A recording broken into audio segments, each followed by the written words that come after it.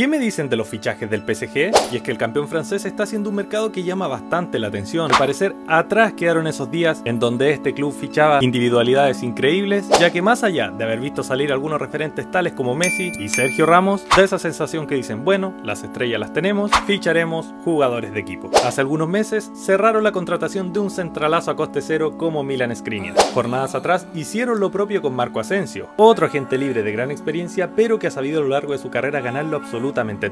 Posteriormente dejaron todo listo para sumar al uruguayo Manuel Ugarte. Por este sí tuvieron que abrir la billetera, 60 millones le pagarán al Sporting. También está al caer la contratación de este jovencito italiano Cher Ndur, 18 añitos para él, llegaría proveniente del Benfica B. Sin embargo, esto no sería todo, ya que tienen prácticamente cerrado al talentoso jugador surcoreano Kang Jin Lee, el cual significaría otros 15 milloncitos, mientras le disputan al Milan la contratación del atacante francés Marcus Thuram. ¿Le funcionará esta nueva estrategia al cuadro parisino?